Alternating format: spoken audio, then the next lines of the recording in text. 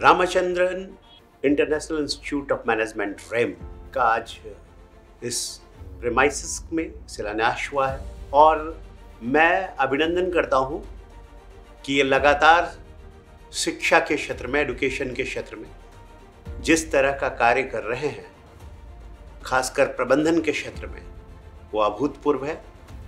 आज जो हमारे देश के 24 विभिन्न राज्यों से आए हुए बच्चे हैं जो लीडर बनना चाहते हैं मैनेजमेंट के क्षेत्र में कुछ कर दिखाना चाहते हैं। वैसे लोगों को मैं अपनी तरफ़ से शुभकामनाएँ देता हूँ। लीडर बनने के लिए एक प्रमुख चीज़ ये होती है कि आपको प्रबंधन तो अच्छा आना ही चाहिए, लेकिन साथ में आपके पास एक विजन होना चाहिए। आप पर्पसिव होने चाहिए। आप एक गोल लेकर चलना चाहिए। और वो गोल इस तरह का होना चाहिए कि उसको पाए बिना, जैसा कि स्वामी विवेकानंद ने कहा है, कुतिष्ठ जागृत प्राप्त वरिण्य बोध्यत।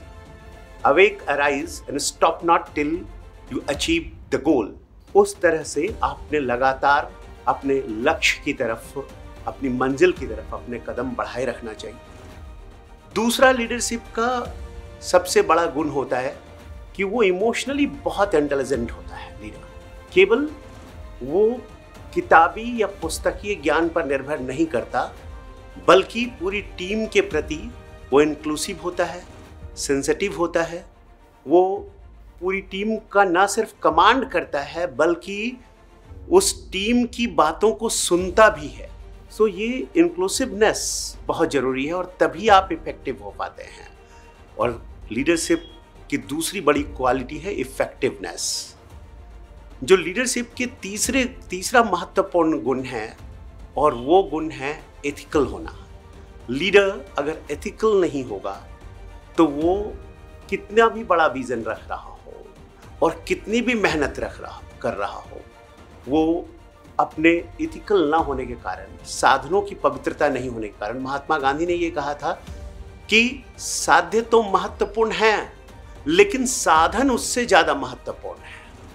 अगर साधन पवित्र हैं तो साध्य हासिल भी होते हैं, भले ही मुश्किल हो, और साध्य हासिल होने के बाद वो कायम भी रहते हैं, हमेशा टिके भी रहते हैं।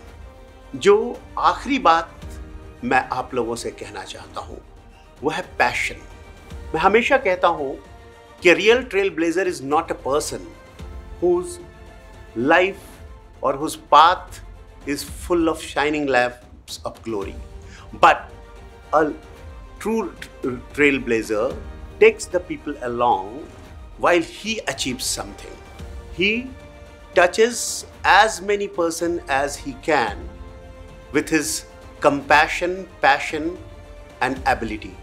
Passion इसलिए इंपॉर्टेंट है कि जो आप निर्णय कर लेते हो, उसे पूरा करने के लिए पैशन का होना बहुत ज़रूरी है। टू डू समथिंग एक धड़कता हुआ साहसी दिल चाहिए कि आप कोई काम कर दिखाना चाहते हो, कुछ कर गुजरना चाहते हो। निश्चित तौर पर तो एक लीडर को एक इंस्पिरेशनल हिस्ट्री क्रिएट करने की क्षमता होनी चाहिए, विश्वास होना चाहिए और मेरा ये मानना है कि हर व्यक्ति में लीडरशिप होता है।